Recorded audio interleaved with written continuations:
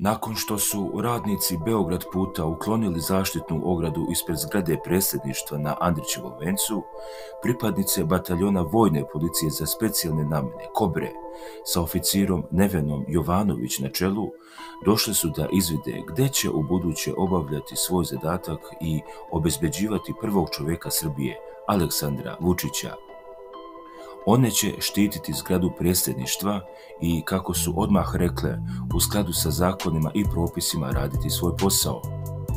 Ne želim scene iz Pariza, u buduće će zgradu predsjedništva s polja obezbeđivati samo žene, pripadnice vojske Srbije, poručuje šef države odmah posle incidenta prošle subote, a jedna od Kobri, Nevena Jovanović, objašnjava kako će se ona i njene koleginice nositi sa izazovima koji ih očekuju.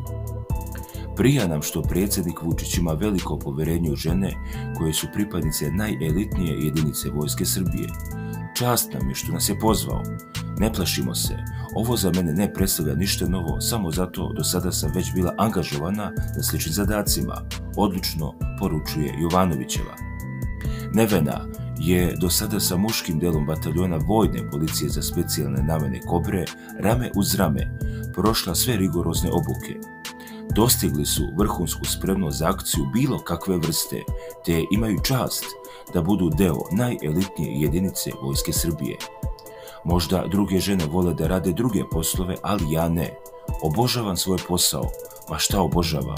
Zaljubljena sam u svoj posao. Nonšalantno odbacuje rukom jedina žena oficije u kobrama. Na pitanje kako će čuvati čovjeka koji je visok gotovo dva metra, ona odgovara. Pa šta, Iznenadili biste kada biste znali šta sve možemo. Nismo slučajno pripadnice najelitnije jedinice vojske Srbije, rame uz rame.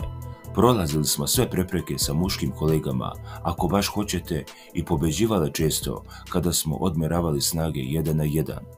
Svako ko bi da nas poceni, neka razmisli dva puta, uzvraća Nevena,